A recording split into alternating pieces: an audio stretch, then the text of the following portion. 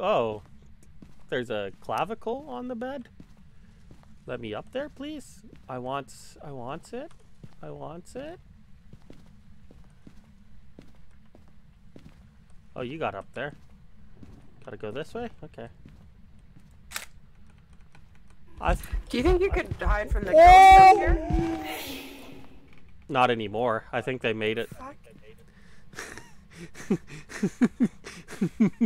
I'm pretty sure I peed a little. Like, I thought we were dead. like I absolutely thought we were Oh, we were we were gonna die together on the bed. on the bed. Yeah.